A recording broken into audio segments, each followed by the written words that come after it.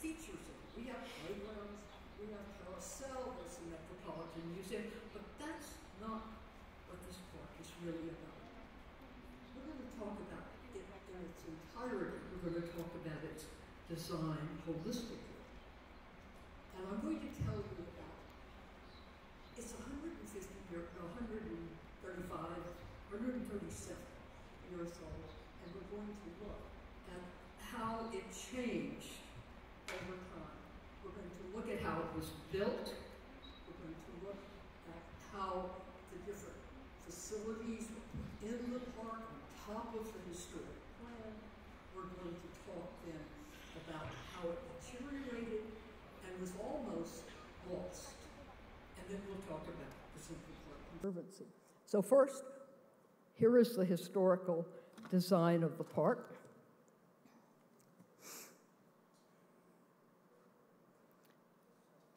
Now, we're starting with Frederick Law Olmsted and Calvert Vaux. And they were the winners of a design competition in 1858. And so these are really, this is the, the design that we go back to today in our vision of what this beautiful, naturalistic, historic landscape, the template, the beginning, uh, is here in the 19th century. And look, at, you can see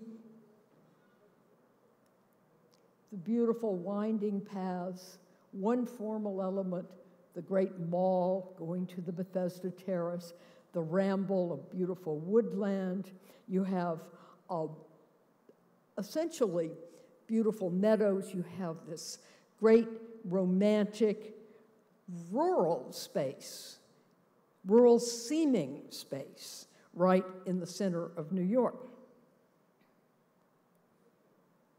And this is the north end. It was built around uh, the, the reservoir, which was there to begin with. It's called Central Park because this was the central reservoir bringing pure drinking water to the city. So we're going to look at it whole. We're going to look at the design uh, in its entirety. And here's what it looked like in 1857. And you can see that it's mostly a barren ground, it has poor soil, and these rocky outcrops. And so the initial task in making the park involved blasting the bedrock, using some of it as part of the design, uh, excavating and reshaping the landscape. And so the low lying, marshy areas the low lying areas had to be dredged, you had to bring in a lot of topsoil. You can see they're really building this park. So don't think when you visit New York that they just put a wall around a piece of nature. This is a completely designed landscape. And it required a great deal of engineering in order to create its complex infrastructure of drainage and water supply.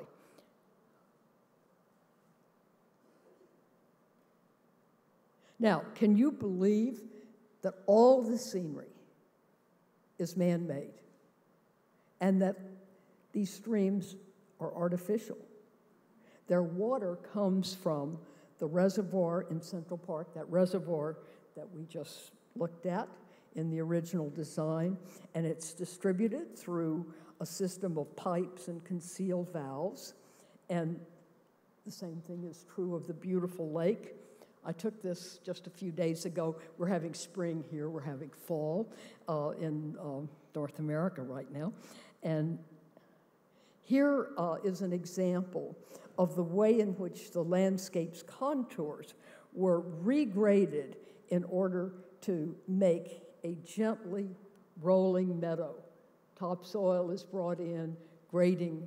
All of this is being done not with machinery in those days, but with men, manpower and horsepower. Notice um, how these rustic wooden bridges and shelters reinforce the notion that Central Park is a piece of rural countryside transported to the middle of New York. It's a very idealistic vision that when they saw that this was going to be a great metropolis, that they would need to have this kind of respite for the people of the city from the busy, noisy city. And um, you have uh, a comprehensive, integrated circulation system. Uh, and this required bridges to separate pedestrians from horseback riders and uh,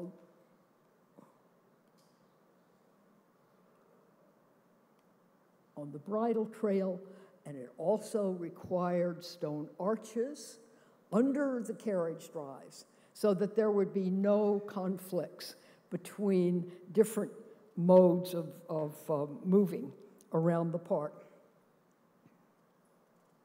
You can see this is probably the first example of grade separation of traffic in New York. These are the transverse roads. And this is incredibly important. There are four of them in Central Park. And so it required the blasting through the bedrock and excavating these four sunken channels to the transverse roads to carry the east west park traffic through the cars, the trucks. You can see what it was like in the beginning the carts and the people and the animals uh, through the park without interrupting the essential park experience and it works wonderfully today. Uh, also, um, let's see what was accomplished botanically uh, by, let's say, 1872, when we consider the park has been more or less built. Of course, it's always being created, as you know, over time. Nothing uh, stays still. Uh, five million trees and vines had been planted by that date. The 42 species of trees and shrubs that were listed when the park site was acquired in 1857 had increased to 612. There were 815 varieties of hardy, perennial, and alpine species as well. There were two nurseries inside the park, which had been set up to cultivate the seedlings that were then planted in the park. And it's clear from these statistics that before the founding of the New York Botanical Garden in 1891, that Central Park was New York's de facto botanical garden. I'm happy we're in a botanical garden today. Central Park was the horticultural showcase, 1895. That function of a botanical garden, official botanical garden, became the New York Botanical Garden in the Bronx. As I just said, nothing remains the same. There is the statistics on the trees that were planted. Uh, nothing remains the same, uh, least of all a public park, which has changed uh, much over the years. And you can see that Central Park has had several lives.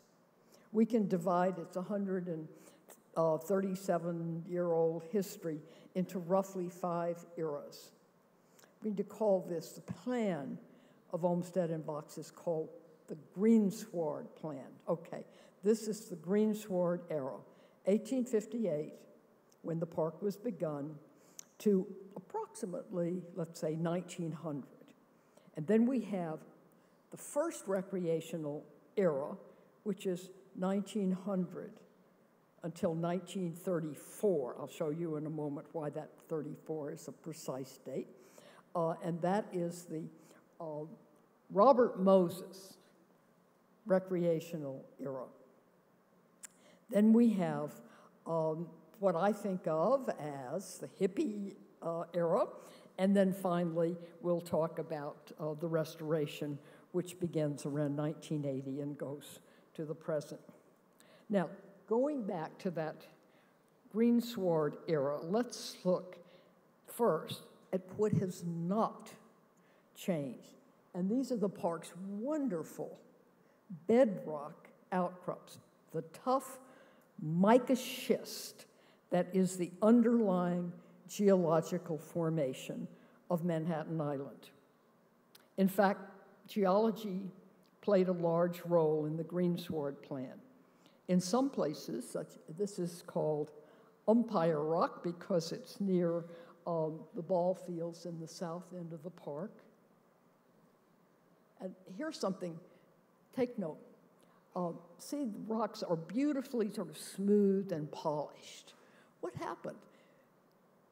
The glaciation, we're talking North America, glaciation came down to really just about this point, you know, goes across the Midwest.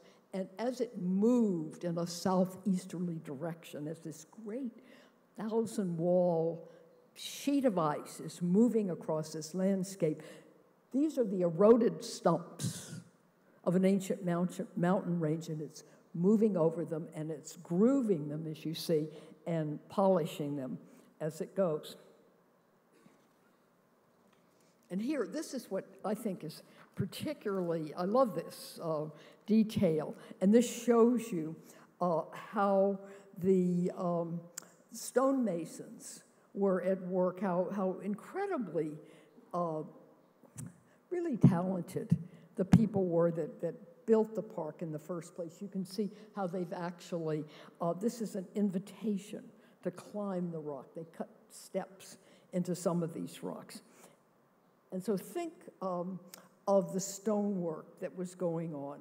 And here are more of those rock cut steps. And also, um, I want you to notice that, see the masonry, all of the walls, all of the, the, the um, cut stone comes right out of the park. It's all built of this same uh, bedrock, the Manhattan schist bedrock.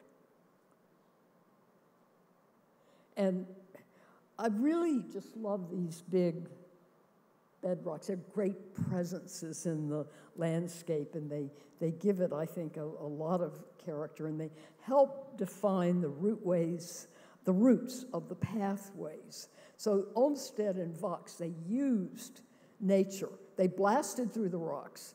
They shaped the park. They created it like a sculptor would create a work of art.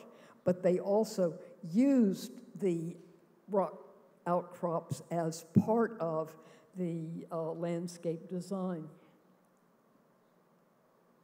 Here, this is um, where you can see that it's uh, actually, um, you have the stonemason sort of smoothing off this and creating a wall, and they run the path along the wall. And here in the bridle trail, they've actually cut through a massive piece of bedrock and channeled the, the bridle trail through the park. This is where I run in the morning. It's near where I live. Um, so, uh, you have to think also of the park when it was under construction as this immense work site. The bedrock that was blasted away furnished a good deal of its building material. And here uh, you are looking at the stream that is named the Gill, uh, and it's a man made brook like those waterfalls I showed you earlier. And it runs through the Ramble, which is this beautiful artificial um, woodland landscape, and then the gill empties into the lake. And its stream bed and waterfalls were created by combining these fragments of blasted bedrock that had been moved from elsewhere in the park. Uh, and here you see how this lovely little stream. Again, totally artificial. And here um, we see how the lake's edge, the rocks are used, they help to define the edge of the lake. And again, I show you how the, the uh, masonry uh, is cut and then used in building walls as well. So, that is the, we want to talk about uh, the circulation system. And we've already spoken about this. We've spoken about the importance of the transverse roads.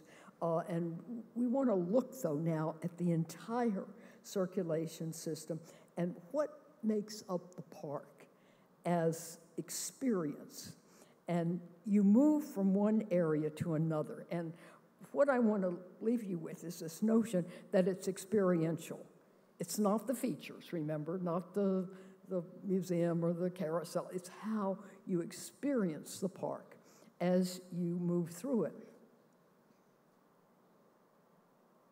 Look at how the beautiful winding paths, you can see uh, the, the way in which uh, the circulation is conceived. This is a very uh, 19th century romantic, picturesque way of designing parks. It comes out of the English landscape, the great um, park landscapes, the state landscapes of England uh, in the 18th century, and then the notion that it is a very naturalistic way to carry you on these curvilinear paths throughout the park.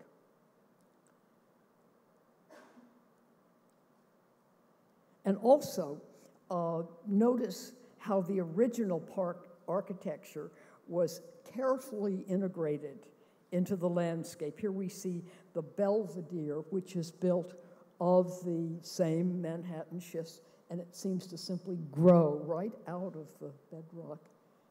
And here is the lovely dairy, and it has, again, a very sympathetic character. This is not like the buildings, much as we love the Metropolitan Museum. It's a massive uh, classical building that is put in the park at a later date. This is the kind of original park architecture. But, as I said, the greensward era's emphasis on beautiful scenery as the park's core experience began to change as a new generation with different ideas about the function of a public park came into being around the beginning of the 20th century. At that time, there grew up the desire for more physical forms of recreation.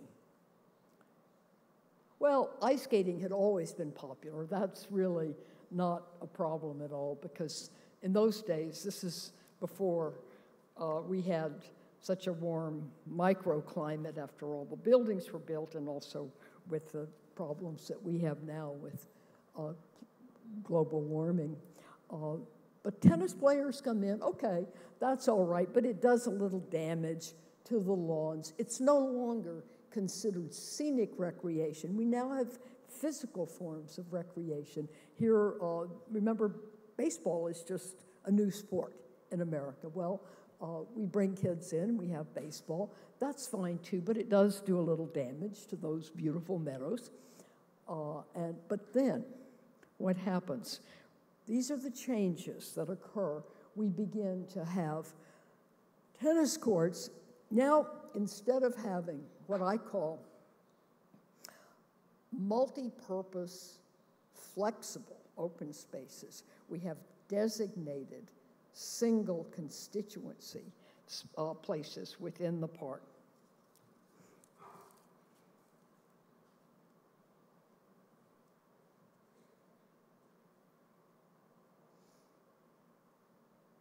And this is my least favorite building. This is a, um, it's a swimming pool and, and ice skating rink in the winter. And we don't want to take these things away, but I think you have to admit they are quite uh, an encroachment on that original landscape. And here is, I mentioned the name Robert Moses. And these active recreation facilities were built by Robert Moses, the man who reigned as park commissioner from 1934 until 1964. And reigned, reigned is the right word, because Moses, who could have cared less for Olmsted and Vaux and the park as the scenic symphony of pastoral and picturesque areas, uh, was a virtual czar of public works in New York for three decades. And in wearing his parks hat, he built hundreds of playgrounds as well as, this is all around the city, as well as numerous swimming pools, beaches, ball fields, and basketball courts throughout the city. In fact, what's wrong with that? I mean, he was a hero um, to the people. Times had changed. Play facilities are what everyone wanted. And this was a time, though, when much of Central Park's original scenery and rustic character was destroyed. And here's an example. I mentioned the rustic structures. All right, here we have the original, oops, I'm sorry, um,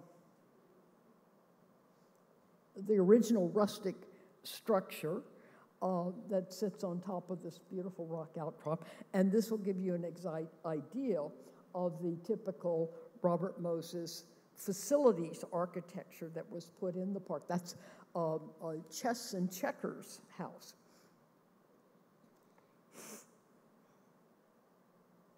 Okay, th this is for want of a better name. I call this the hippie era and during the years of Moses' administration, the park was well maintained on a daily basis. The regulations were enforced.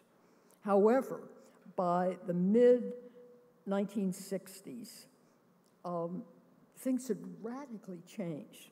This was a time when America's youth culture sought to take over the world, uh, or at least Central Park.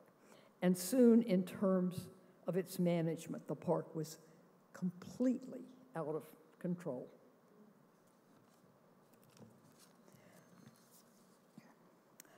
Oh, I don't know whether some of you are old enough to remember, but this was a time of happenings, love ins, protest marches, park rules were simply abandoned in this kind of anything goes atmosphere of mass events.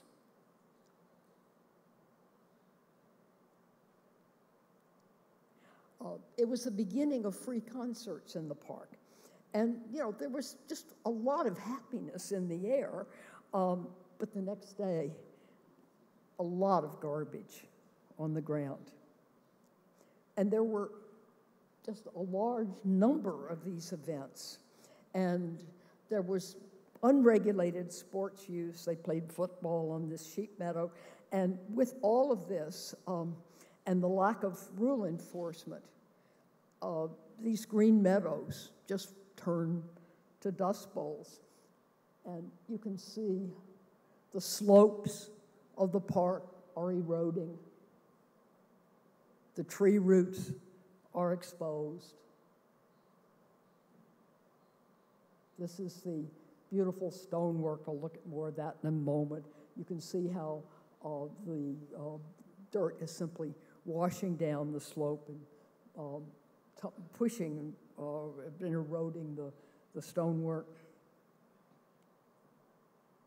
And you have graffiti on every possible surface, uh, both those that were built by uh, Olmsted and Vaux in the Greensward era, uh, such as the beautiful little Belvedere Castle that I showed you, and those built by um, Robert Moses.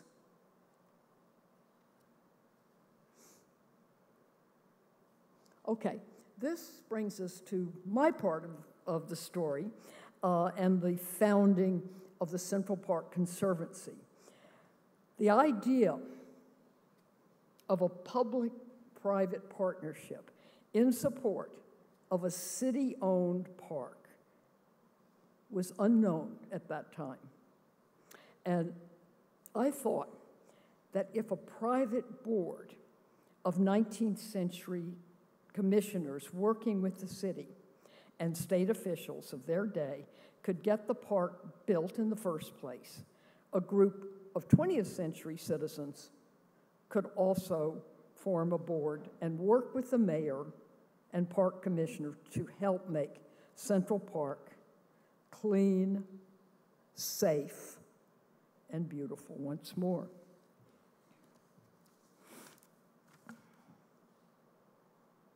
Okay, so we have the founding of the Central Park Conservancy. Uh, well, in um, first of all, I was appointed by Edward Koch, the mayor, uh, to be the first Central Park administrator. We created a title. This title didn't even exist. And so uh, in 1979, I became Central Park administrator. And I look like I'm patting his head, but it's really uh, the day that, that this uh, announcement was made to the press. So it's the first, as I mentioned, public private partnership organized uh, for this purpose in the United States. You had public private partnerships, if you want to think of public library or um, the museums or the botanical gardens, they were from the beginning institutions within parks. This is the first time that the park itself has a structure that involves private citizens in its restoration and management. Okay, people always ask me, you know, what, what are the four things, what are the things that you need? I say, you need, first of all, the vision, and then your organization has to have a strong mission, and you must have good planning and design.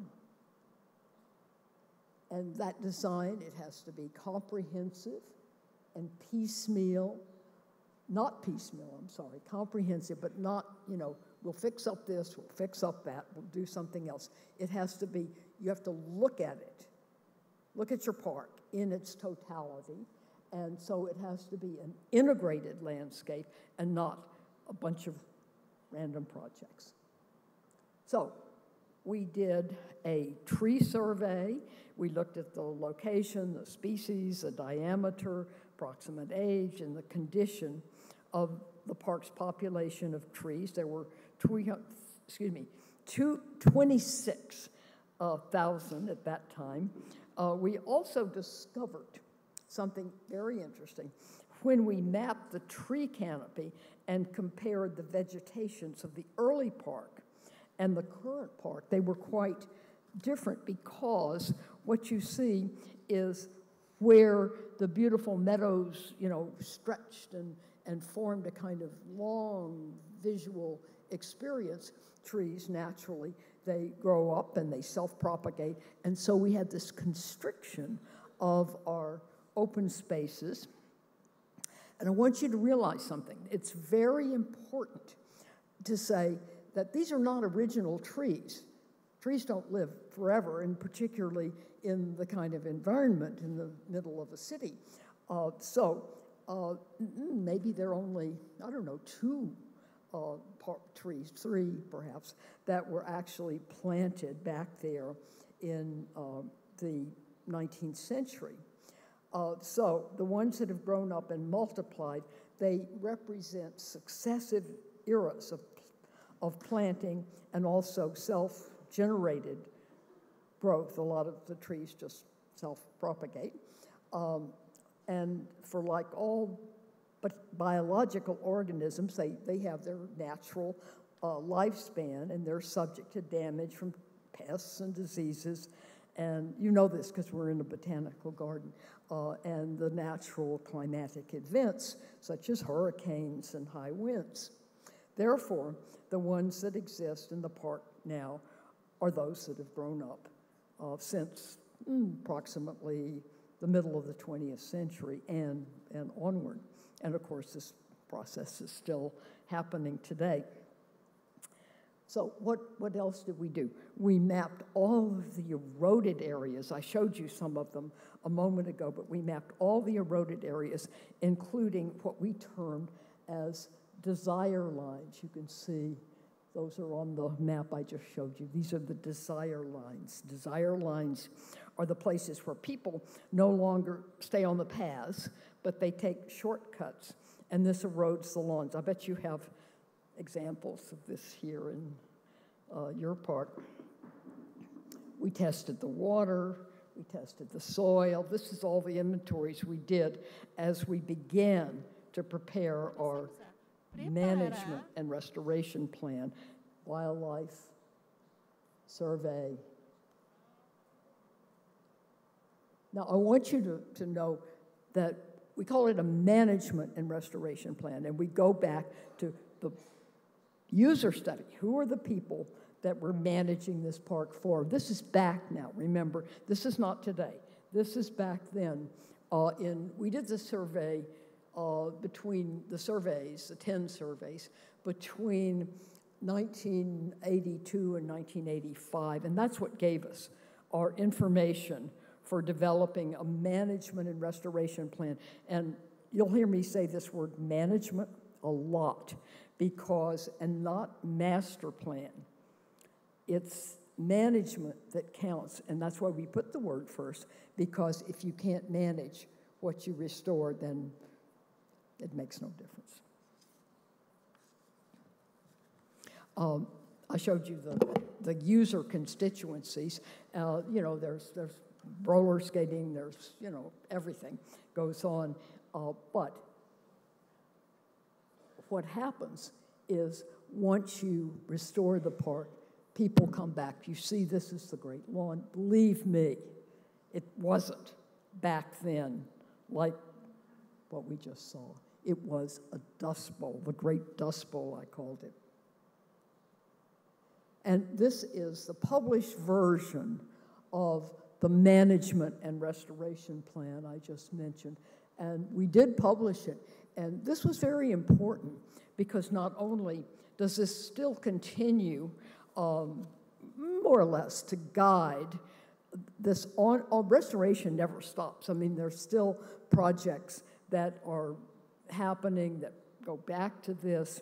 There are some restoration projects that we've done that we re-restored to keep them in, um, in, their beautiful uh, state in which we restored them. And of course, here are some of the things that we did. We removing the 50,000 square feet of graffiti was one of the first things that we did. And that brought, that was a signal that management was back. I have, this is an aside, I have to say, I think some of this graffiti in Rio is really cool. And that, that you've got some terrific graffiti artists that are going around. Uh, I'd like to know more about that. But the graffiti in Central Park was really, it's what you call the tags. People were just, you know, writing on the walls, and it was not so nice. And it was definitely uh, getting rid of that on all those surfaces 50,000 square feet of graffiti. And um, it took about three years. That gave a real signal that management was back. We also uh, repatinated, cleaned and repatinated the statuary. It was all covered with this copper sulfate corrosion that turns all the statues green. So cleaning and repatinating them was one thing we did that I showed you earlier, the rustic construction, returning some of that, um, let's say, flavor to the park, the bridges and the boat landings, and the summer houses. This is a beautiful little gazebo that's near 67th Street and Fifth Avenue. And the light heads, all, so many lights were broken, you know, maybe two thirds of the lights. And they had this awful, off the shelf, manufactured uh, luminaire. And by redesigning, uh, designing a new luminaire that still looked sympathetic to the historic lampposts, uh, we created a new uh, aesthetic for the park. And then we have uh, the turf management, bringing back uh, lawn mowing. We have a turf crew. We have the Conservancy is sponsoring all this. It's still half run, no, maybe a quarter run by the city. And as it grows, the Conservancy gets stronger and is doing more and more of these uh, management building activities in the park. And you can see this is the condition of the Harlem Meer, the lake that's in the north end of the park, and restoring that. And you see how we use the same kind of aesthetic again, the way in which I showed you the earlier lake and the way the rock outcrops are defining the edge rather than this hard uh, concrete uh, structure that was built in the Robert Moses era.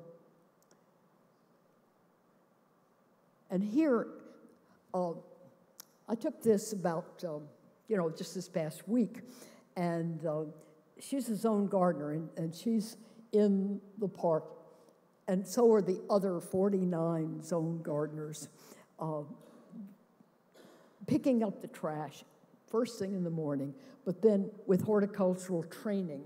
Um, all of this is, is really fairly new planting. Oops, I'm sorry. Uh, here, and you can see how uh, this all has to be cared for. And they go around in these little scooters and you know perform these tasks. That none of this zone management existed. And I want to say that you have to have accountability. And having a conservancy employee in a specific part of the park makes a huge difference because without a system of management in place, as I said, I keep coming back to this, uh, there's just no point in restoring the park. And so, with these trained workers who are accountable for individual zones within the park, uh, it is a, without them, it's a disservice to the donors and the city taxpayers to spend money for projects that can't be maintained when they're completed. Uh, now, before I end, I want to just quickly show you some before and afters where zone management and well organized park crews have been key to the Conservancy's success. Okay, this is the East Meadow. Here we have, this is where the, it's called the Conservatory Water or the Model Boat Basin slope going down to that. This is our beautiful mall, that central axis, the one straight axis uh, for promenading in the park. Shade tolerant grass and good tree pruning and tree care. These are American elms, one of the most beautiful trees, particularly for uh, overarching a, um, a, a promenade like this, because nothing has this great branching pattern, I think, a vase-like shape, uh, and it makes it look, you can't see it so well in that slide, but it, it's really like walking, you know, through a cathedral. Here is the, uh, it's called Cedar Hill. Now you see, I uh, mentioned earlier, uh, the turf crew and the keeping the grass in good shape. This is called Cherry Hill. Uh, it had been turned into a parking lot we took away the parking lot, we put the original fountain back uh, on the slopes, which look like this. We replanted them, and this is Strawberry Fields, which most people know about. This is Yoko Ono's. For this is a very important gift. It was a million dollars, and we put six hundred thousand dollars into the restoration and uh, 400,000 into an endowment to pay the salary of our first zone gardener.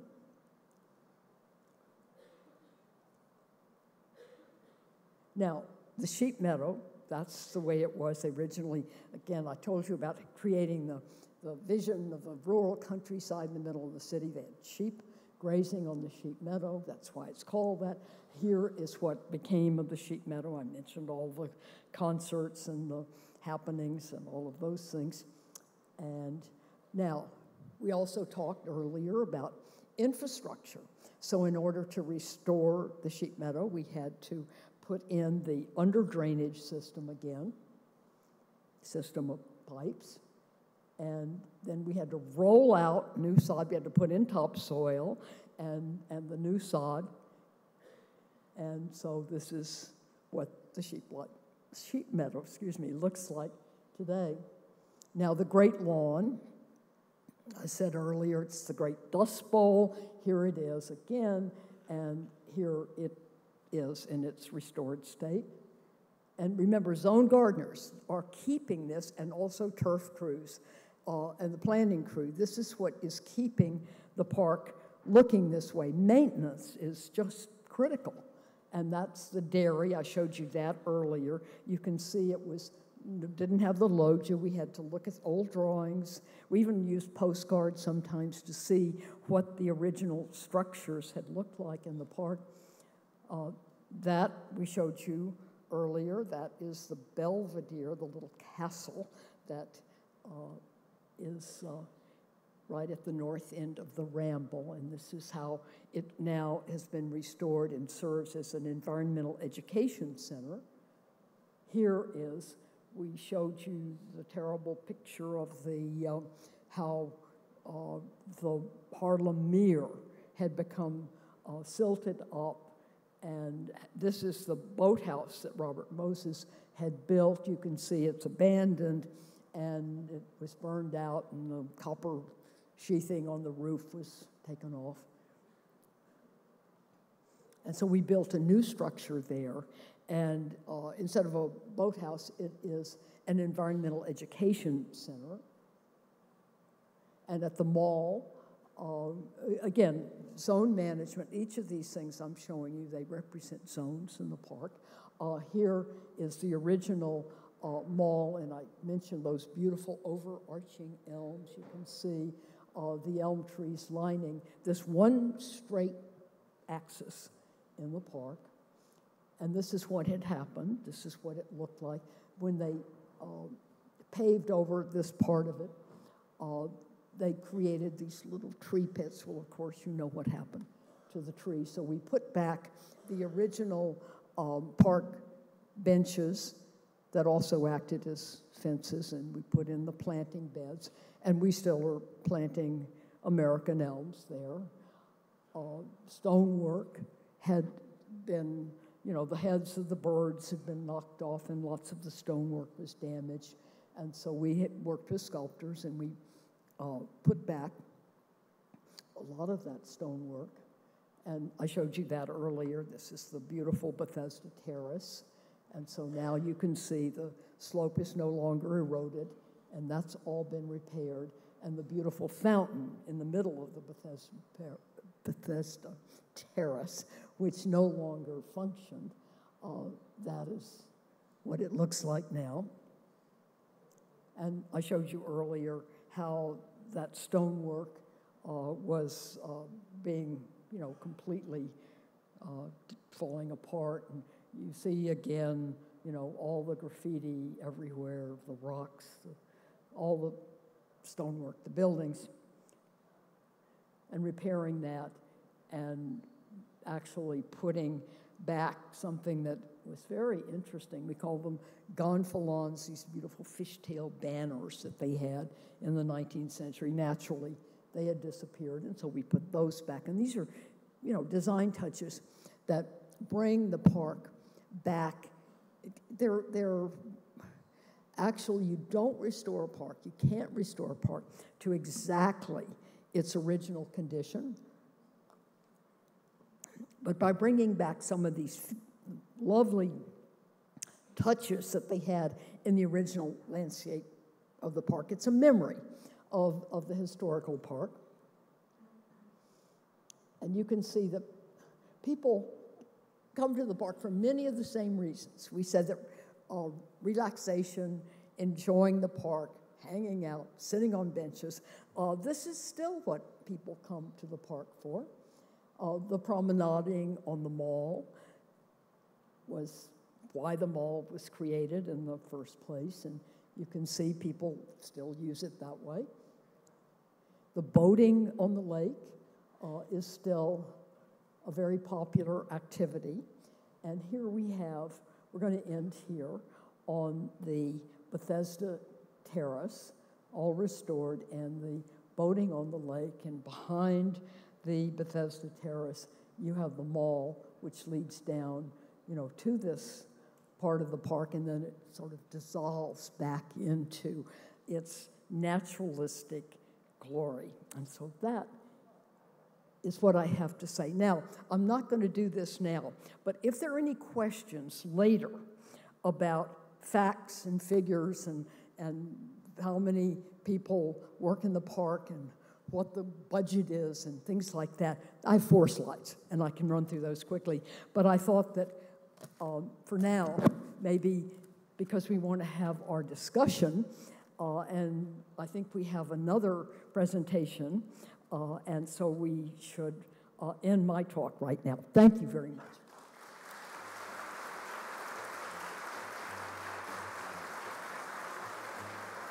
Did I go over too long?